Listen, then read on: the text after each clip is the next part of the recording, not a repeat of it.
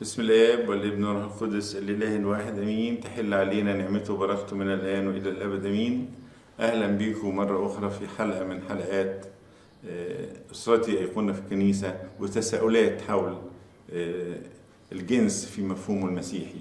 والحقيقة النهارده آه، أو عايزين نجاوب على سؤال أيضا بيدور في ذهن كثير من أولادنا وشبابنا وبيسألوه كسؤال منطقي وممكن يكون برضه أيضا سؤال افتراضي ولكن له آه، أهمية إنه نوضح النقطة دي لأنها بتشكل في فكرنا وفي فكر أولادنا وشباب المفهوم الصحيح للحياة الجسدية والجنسية.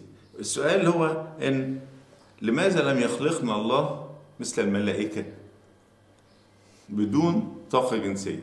أيضا لأن بنجد إن في صراع أحسن أحيانا بيحصل في في ذهن المراهقين وفي أفكارهم.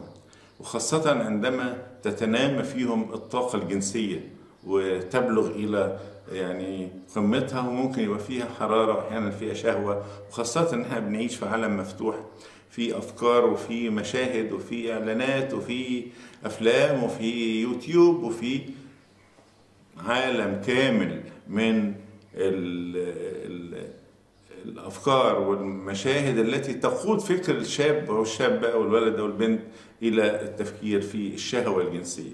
ودايما هم لما نكلمهم في الكنيسة يقولوا طب ليه ربنا ما خلقناش زي الملائكة بدون طاقة جنسية؟ لأنها هي أحيانا بتبقى سبب صراع في حياتنا الروحية وبتوجد عندنا نوع من الألم عندما لا نستطيع أن نتغلب عليها أو الشباب يقعوا في العادات الشبابية الجنسية.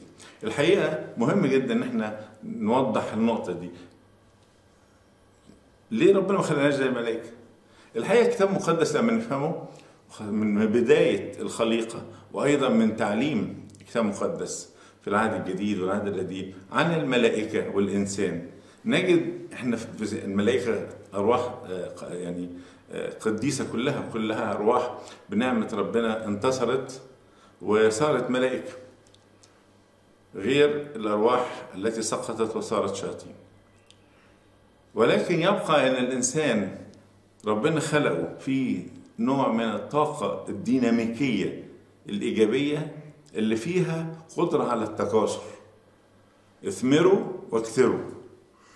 وربنا قال اثمروا يعني بينظر إلى التكاثر في الجنس البشري كأنه ثمرة.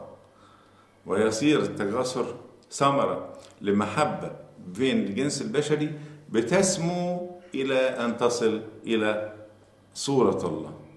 نخلق الإنسان على صورتنا كشبهنا. اذا هنا في آه آه يعني خاصية خاصة في الإنسان. لا توجد في الملائكة. لم نقرأ في الكتاب المقدس إن الله أعطى الملائكة هذه الخاصية الجسدية أو الجنسية ولكن أعطاها للانسان ومن خلالها يستطيع الإنسان أن يحقق صورة الله في حياته. إذا هنا ده الإجابة دي والفهم ده يخلينا ننظر إلى الطاقة الجنسية لأنها شيء مقدس اعطاه الله. هبة اعطاه الله الإنسان. نعمة وعطية تجعل الإنسان يرتقي في الصورة اللي هي وينمو ويصير الملاك هذا الكائن النوراني الذي له عقل وإرادة في حالة نقاوة فائقة تناسب الوجود في الحضرة الإلهية ولكن يختلف عن الإنسان اللي هو ممكن ينمو في هذه النعمة إلى أن يصير على صورة الله. وعشان كده بنقرا في كتاب مقدس في العهد الجديد. معلمنا بولس الرسول يقول كده أنتم هياكل الله وروح الله ساكن فيكم أو يسكن فيكم. الإنسان بجسده وبروحه يصير هيكل للروح القدس. الإنسان بشكله الإنساني العادي ده يحصل على نعمة وهبها الله كأحد خصائص تكوينه. وهنا ننظر إلى الجنس انه طاقة إيجابية وليس طاقة سلبية. ليس طاقة بتقودنا للصراع النفسي الجسدي والسقوط في الخطية والإحساس بالندم والنجاسة والقذارة اللي بيشعر به الإنسان اللي بتسيطر عليه الخطية الجسدية الشهوانية. أما أولاد الله اللي بيعيشوا بروح الروح القدس عندما يفهموا إن الطاقة الجنسية اللي فيهم هي طاقة إيجابية يستخدموها في سر الزيجة لإيجاد نسل يحيا في صورة الله. يبقى نظرتنا للجنس نظرة مقدسة. بقدر ما الإنسان ينظر للجنس نظرة مقدسة بقدر ما يستطيع أن يستخدمه بطريقة مقدسة وتتحول الطاقة الجنسية إلى شيء مقدس مفرح في حياتنا ونبعد عن الإحساس بأن الجنس هو شيء شهواني فقط بياخدنا للخطية وياخدنا لبيع ربنا خاصة أولاد ربنا لما بيعيشوا في الصراع ده. بيكون صراع صعب جدا جدا. لكن يصبح الحب الزيجي الحب الاتحادي هو يحقق إرادة الله في حياتنا وهو أيضا يسمو بالإنسان إلى أنه يحقق صورة الله في الطرفين بالنمو في النعمة والمحبة الإلهية.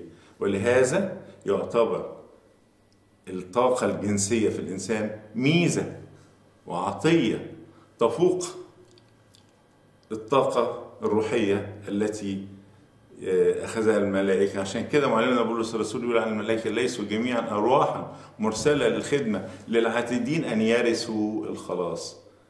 ربنا يعطينا أن نظرتنا باستمرار ونعلم ولادنا وشبابنا هذه النظرة الإيجابية بدون خجل وبدون كسوف ولكن بفرح وبنعمة نشعر بيها. تقربنا من ربنا وتقربنا من بعض. ولإلهنا المجد دائما أبدا.